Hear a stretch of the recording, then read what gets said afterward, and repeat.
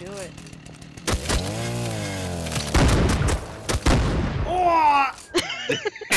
Oh! I almost killed you. No!